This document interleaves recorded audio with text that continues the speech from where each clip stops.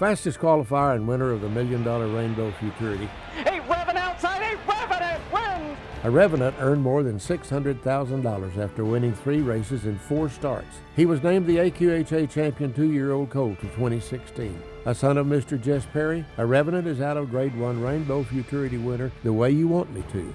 His first foals arrived in 2019. This young Grade 1 winner stands at the Four Sixes Ranch.